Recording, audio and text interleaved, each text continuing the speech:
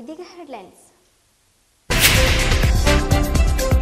ಆರು ತಿಂಗಳೊಳಗೆ cycling velodrome ಸಿದ್ಧವಾಗಬೇಕು. ಸಚಿವ ನಾರಾಯಣಗೌಡ್ ಖಡಕ್ ಎಚ್ಚರಿಕೆ. ಜಿಲ್ಲೆಯಲ್ಲಿ ನಡೆದ ಕೊಲೆ ಕಳ್ಳತನ ಪ್ರಕರಣದಲ್ಲಿ ಆರೋಪಿಗಳ ಬಂಧನ. ಎಸ್ಪಿ ಅನುಪಮ್ ಅಗರ್ವಾಲ್ ಸ್ಪಷ್ಟನೆ. ಗೊಮ್ಮಟ ನಗರಿಯಲ್ಲಿ ಸಿಂಥೆಟಿಕ್ ಅಥ್ಲೆಟಿಕ್ ಟ್ರ್ಯಾಕ್ ಲೋಕಾರ್ಪಣಾ ಸಮಾರಂಭ. ಸೈಕ್ಲಿಂಗ್ ಅಸೋಸಿಯೇಷನ್ ಗೌರವಾಧ್ಯಕ್ಷ ಶ್ರೀಧರ್ ಕೋರೆ ನಿಧನ. ನಾನು ಭಾಗ್ಯ.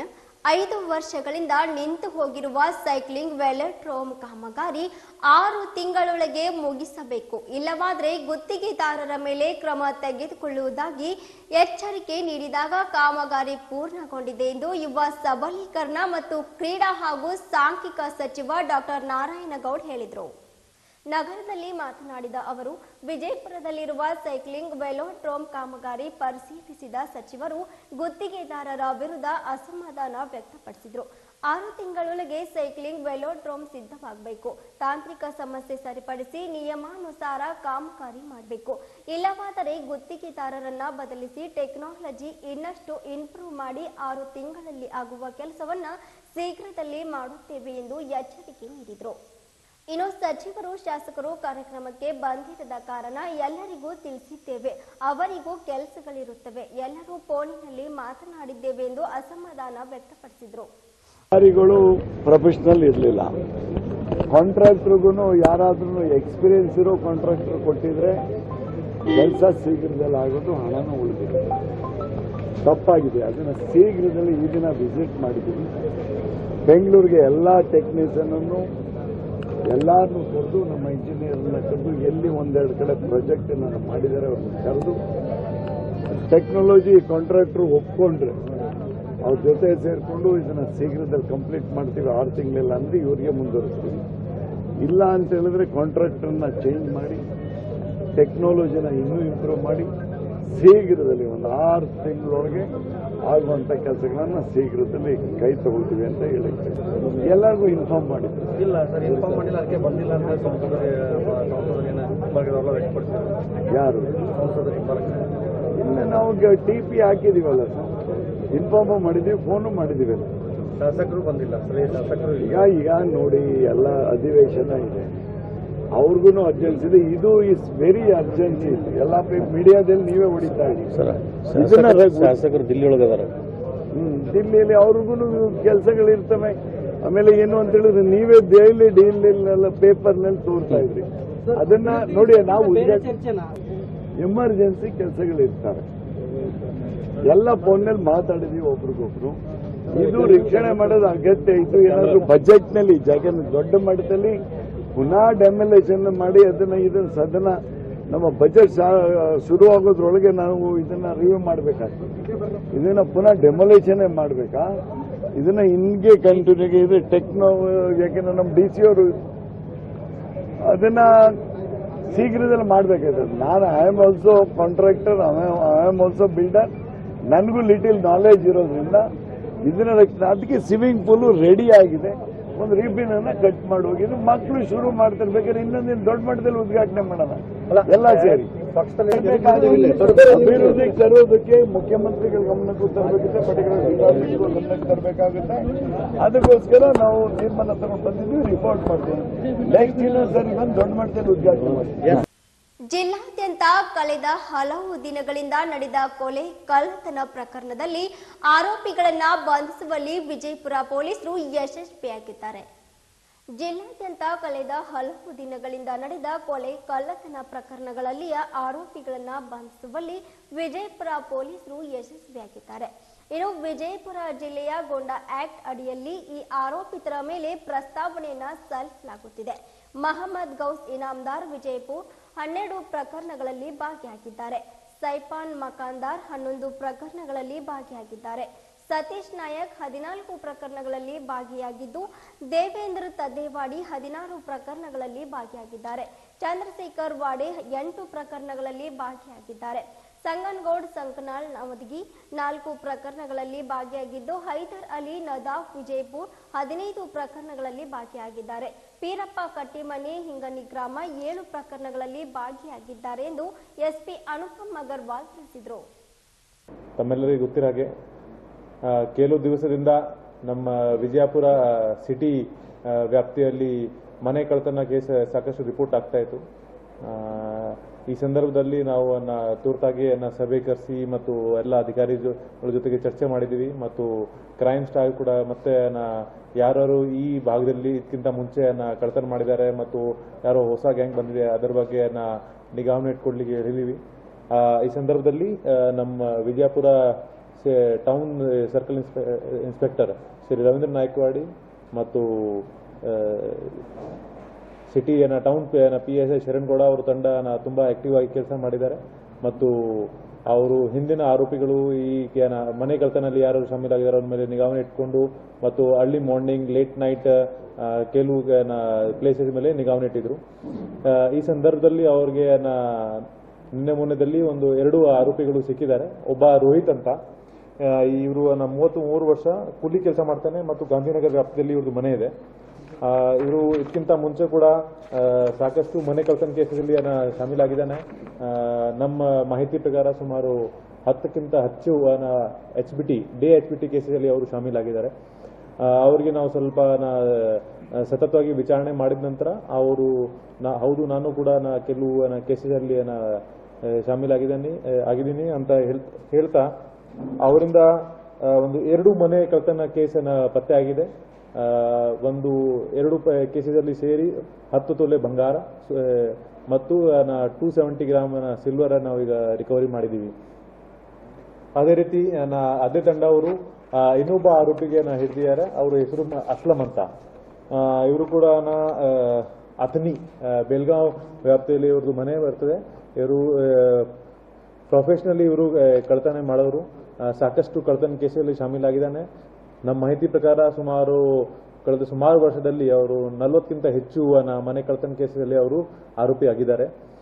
ಇತ್ತೀಚೆಗೆ ಕೊರೋನಾ ಕಾಲದಲ್ಲಿ ಅವರು ಬೇಲ್ ಮೇಲೆ ರಿಲೀಸ್ ಆಗಿ ಆಚೆ ಬಂದಿದ್ರು. ಮತ್ತೆ ಬಂದ ನಂತರ ಅವರು ಮನೆ ಕಳ್ತನ ಕೇಸಲ್ಲಿ ಅವನು ಶಾಮೀಲಾಗಿದ್ರು. ಅವರಿಂದ ಈಗ ನಾವು ರಹೀಂ ನಗರ್, ಶಾಸ್ತ್ರಿ ನಗರ್ ಕುಲಕರ್ಣಿ ಲೇಔಟ್ ಮತ್ತು ಟ್ರೆಜರಿ ಕಾಲೋನಿಯಲ್ಲಿ ಆಗಿ ನಾಲ್ಕು ಮನೆ ಕಳ್ತನ ಕೇಸಲ್ಲಿ ಪತ್ತೆ ಮಾಡಿದ್ದೀವಿ. ಸುಮಾರು ಹತ್ತು ತೊಲೆ ಬಂಗಾರ ಅವರಿಂದ ಕೂಡ ರಿಕವರಿ ಆಗಿದೆ. ಈ ರೀತಿ ಒಟ್ಟಾರೆ ನಮ್ಮ ಗಾಂಧಿನಗರ ತಂಡವರು ಸುಮಾರು ಆರು ಕೇಸಸ್ ಪತ್ತೆ ಮಾಡಿದ್ದಾರೆ. ಇಪ್ಪತ್ತು ಗೋಲ್ಡ್ ಬಂಗಾರ, ಜೊತೆಗೆ ಟೂ ಸೆವೆಂಟಿ ಗ್ರಾಮ್ ಸಿಲ್ವರ್ ಈಗ ಅವರಿಂದ ರಿಕವರಿ ಆಗಿದೆ. ಈ ಎರಡೂ ಐಟಮ್ಸ್ ವ್ಯಾಲ್ಯೂ ಸುಮಾರು ಹತ್ತು ಲಕ್ಷ ಮತ್ತು ಆರು ಕೇಸಸ್ ಪತ್ತೆ ಆಗಿದೆ.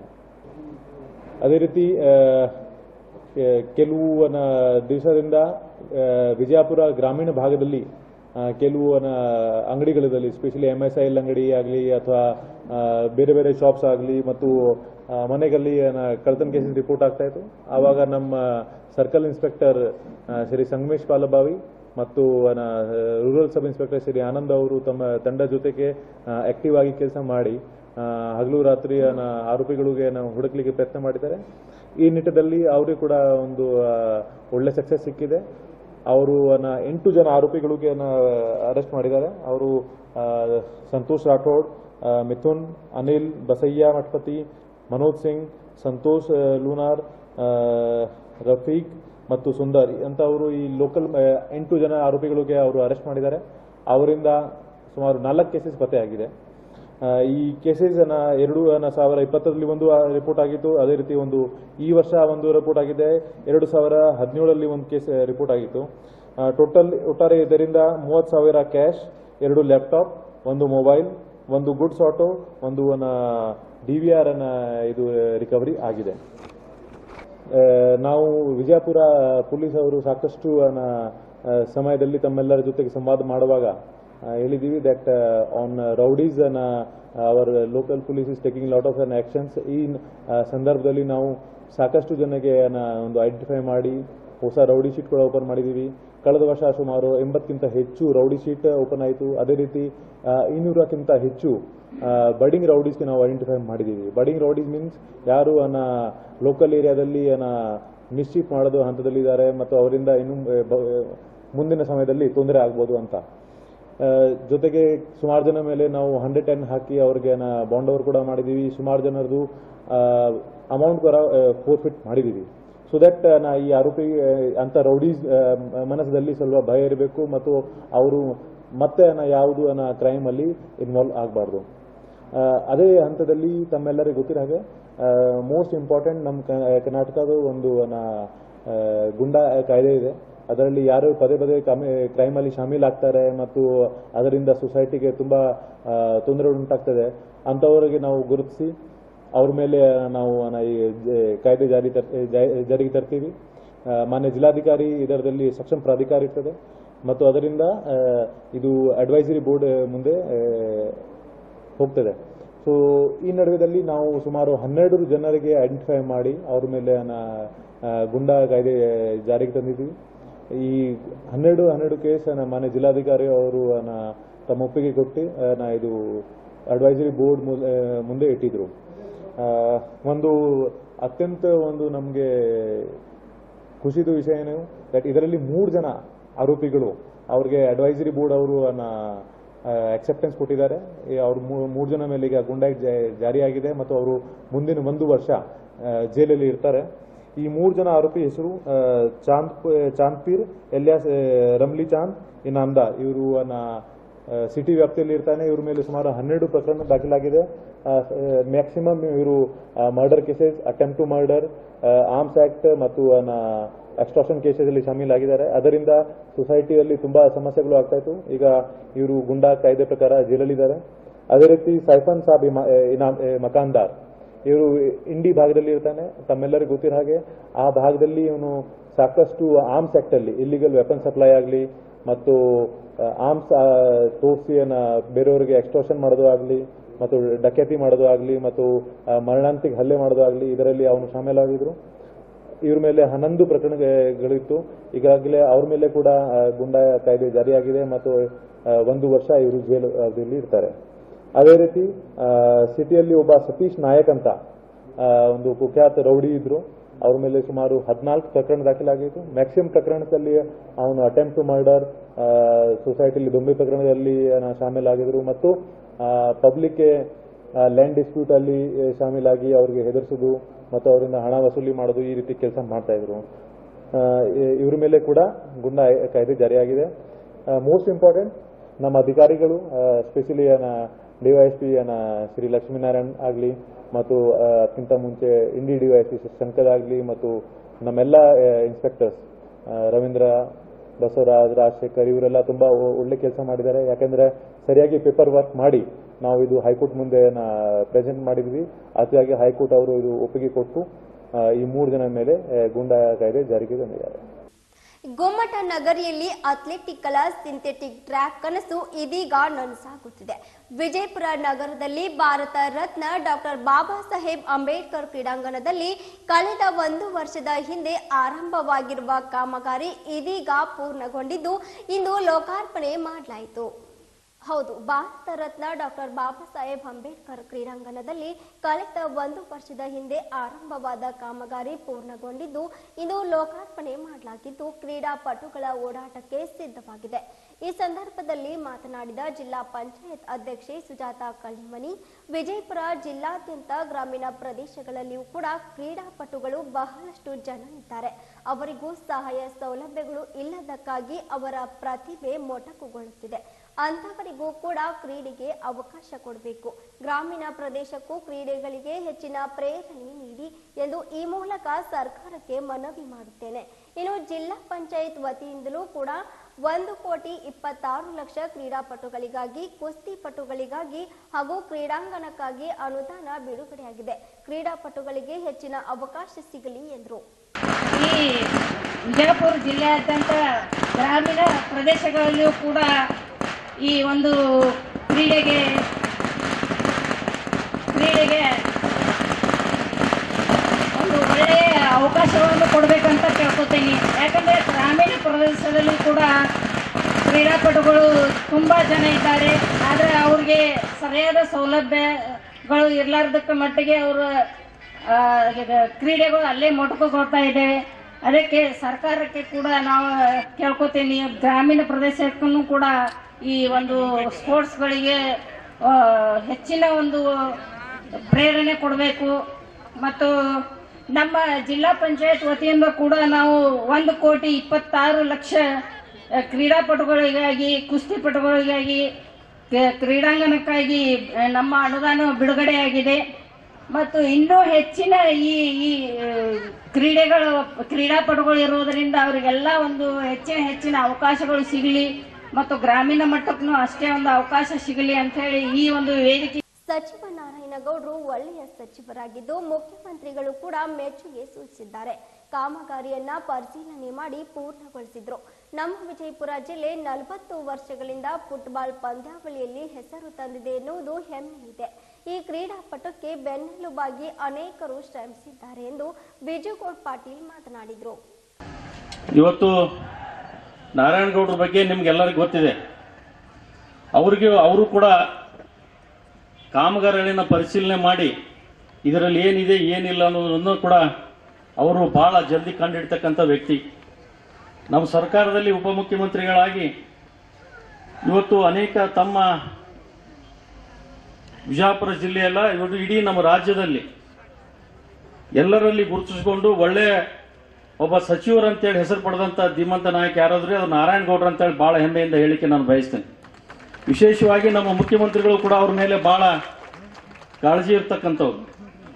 ಆದರೆ ಅವ್ರ ಬಳಿ ಇರ್ತಕ್ಕಂಥ ಸ್ವಭಾವ ಯಾವ ರೀತಿಯಪ್ಪ ಅಂತಂದ್ರೆ, ಅವ್ರ ಸ್ವಭಾವ ನೀವು ಬಹಳ ಹತ್ತಿರ ಹೋಗಿ ನೋಡಿದ್ರೆ ಗೊತ್ತಾಗ್ತದೆ.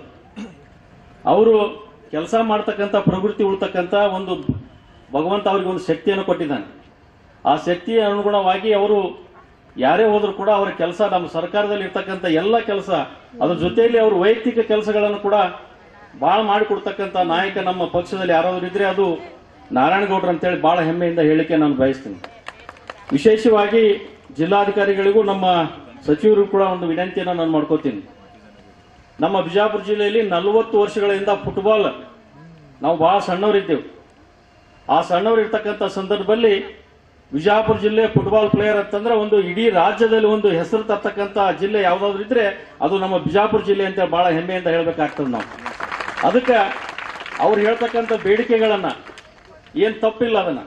ಅದನ್ನ ತಾವು ಕರೆದು ಅವ್ರ ಜೊತೆ ಚರ್ಚೆ ಮಾಡಿ, ನಲವತ್ತು ವರ್ಷಗಳಿಂದ ಕ್ರೀಡೆಗೆ ಬಹಳ ಒತ್ತು ಕೊಟ್ಟು ಮಾಡ್ತಕ್ಕಂಥವ್ರು, ಅವ್ರ ಜೊತೆಯಲ್ಲಿ ಇರ್ತಕ್ಕಂಥವ್ರು, ಇವತ್ತು ನಮ್ಮ ಡಾಕ್ಟರ್ ನಾಗೂರ್ ಅವ್ರು ಇರ್ಬೋದು, ನಮ್ಮ ಸ್ವಂತ ನಮ್ಮ ಮಾಮನೆ ಆಗಿರ್ಬೋದು, ಸುರೇಶ್ ಪಾಟೀಲ್ ಇರ್ಬೋದು ಶರಣ ಬಿರಾದರ್ ಇರ್ಬೋದು, ಕೋರಿ ಸರ್ ಇರ್ಬೋದು ಅನೇಕ ಇವತ್ತು ಅವ್ರ ಜೊತೆಯಲ್ಲಿ ಇರ್ತಕ್ಕಂಥವ್ರು ಕೂಡ ನಾವು ಅವ್ರನ್ನ ಕಳ್ಕೊಂಡಿದ್ದೀವಿ ಆದರೆ ಇವತ್ತು ಅವರಿಗೊಂದು ನೋವಾಗಿದೆ ಏನಪ್ಪಾ ಅಂತಂದ್ರೆ ನಮಗೆ ನಿನ್ನೆ ರಾತ್ರಿ ಹತ್ತು ಗಂಟೆಗೆ ನಾವು ಹೇಳಿದೆವು ಹೇಳಿದ್ರು ಕೂಡ ನಾವು ಪರಿಗಣಿಸಲಿಲ್ಲ ಅಂತಕ್ಕಂಥ ನೋವನ್ನು ಅವರು ಅನುಭವ ಹೇಳಿದ್ದಾರೆ. ಆ ದಿಶೆಯಲ್ಲಿ ನಾನು ಜಿಲ್ಲಾಧಿಕಾರಿಗಳಿಗೆ ಮತ್ತು ಮಂತ್ರಿಗಳಿಗೆ ಟೈಮ್ ಸಿಗುವುದಿಲ್ಲ ಅವ್ರ ಮ್ಯಾಕೆ ಬೇರೆ ಕಡೆ ಮುಂದೆ ಹೋಗೋದ್ರಿಂದ ಜಿಲ್ಲಾಧಿಕಾರಿಗಳು ಮತ್ತು ಜಿಲ್ಲಾ ಪಂಚಾಯತ್ ಸಿ ಅವರು ಕರೆದು ಅವ್ರ ಜೊತೆ ಒಂದು ಚರ್ಚೆ ಮಾಡಿ ಇದನ್ನ ಕೆಲಸ ಇದನ್ನ ಬಗೆಹರಿಸಬೇಕಂತೇಳಿ ವೇದಿಕೆ ಮುಖಾಂತರ ಅವ್ರ ಕಳಕಳಿಯಿಂದ ನಾನು ಕೇಳ್ಕೊಳ್ಳಿಕ್ಕೆ ನಾನು ಬಯಸ್ತೀನಿ.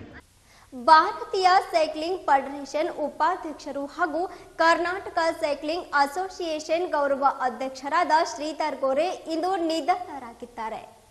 ಭಾರತೀಯ ಸೈಕ್ಲಿಂಗ್ ಫೆಡರೇಷನ್ ಉಪಾಧ್ಯಕ್ಷರು ಹಾಗೂ ಕರ್ನಾಟಕ ಸೈಕ್ಲಿಂಗ್ ಅಸೋಸಿಯೇಷನ್ ಗೌರವ ಅಧ್ಯಕ್ಷ ಶ್ರೀಧರ್ ಗೋರೆ ಇಂದು ನಿಧನರಾಗಿದ್ದಾರೆ. ಅವರ ಅಂತಿಮ ದರ್ಶನ ಪಡೆದ ಸಚಿವ ಡಾಕ್ಟರ್ ನಾರಾಯಣಗೌಡ್ ವಿಜಯಪುರ ನಗರದಲ್ಲಿರುವ ಅವರ ನಿವಾಸಕ್ಕೆ ತೆರಳಿ ಸಚಿವರು ಮೃತರ ಅಂತಿಮ ದರ್ಶನ ಪಡೆದು ಕುಟುಂಬದವರಿಗೆ ಸಾಂತ್ವನ ಹೇಳಿದರು. ಶ್ರೀಧರ್ ಗೋರೆ ಅವರು ಕ್ರೀಡಾ ಕ್ಷೇತ್ರದಲ್ಲಿ ಸಾಕಷ್ಟು ಸೇವೆ ಮಾಡಿದ್ರು. ಅವರ ಅಗಲಿಕೆ ಕ್ರೀಡಾ ಕ್ಷೇತ್ರಕ್ಕೆ ತುಂಬಲಾರದ ನಷ್ಟ ತಂದಿದೆ. ಮೃತರ ಆತ್ಮಕ್ಕೆ ದೇವರು ಶಾಂತಿ ನೀಡಲಿ, ಅವರ ಕುಟುಂಬದವರಿಗೆ ಅಭಿಮಾನಿಗಳಿಗೆ ದುಃಖ ಭರಿಸುವ ಶಕ್ತಿಯನ್ನ ಭಗವಂತ ನೀಡಲಿ ಎಂದು ಸಚಿವರು ದೇವರಲ್ಲಿ ಪ್ರಾರ್ಥಿಸಿದರು. ಕೊನೆಯಲ್ಲಿ ಮತ್ತೊಮ್ಮೆ ಹೆಡ್ಲೈನ್ಸ್. ಆರು ತಿಂಗಳೊಳಗೆ ಸೈಕ್ಲಿಂಗ್ ವೆಲೋಡ್ರೋಮ್ ಸಿದ್ಧವಾಗಬೇಕು. ಸಚಿವ ನಾರಾಯಣಗೌಡ್ ಖಡಕ್ ಎಚ್ಚರಿಕೆ. ನಡೆದ ಕೊಲೆ ಕಳ್ಳತನ ಪ್ರಕರಣದಲ್ಲಿ ಆರೋಪಿಗಳ ಬಂಧನ. ಎಸ್ಪಿ ಅನುಪಮ್ ಅಗರ್ವಾಲ್ ಸ್ಪಷ್ಟನೆ ಗೊಮ್ಮಟನಗರಿಯಲ್ಲಿ ಸಿಂಥೆಟಿಕ್ ಅಥ್ಲೆಟಿಕ್ ಟ್ರ್ಯಾಕ್ ಲೋಕಾರ್ಪಣಾ ಸಮಾರಂಭ. ಸೈಕ್ಲಿಂಗ್ ಅಸೋಸಿಯೇಷನ್ ಗೌರವಾಧ್ಯಕ್ಷ ಶ್ರೀಧರ್ ಕೋರೆ ನಿಧನ. ನಿರಂತರ ಸುದ್ದಿಗಾಗಿ ನೋಡ್ತಾ ಇರಿ ಐ ನ್ಯೂಸ್. ಉತ್ತಮ ಏಳಿಗೆಗಾಗಿ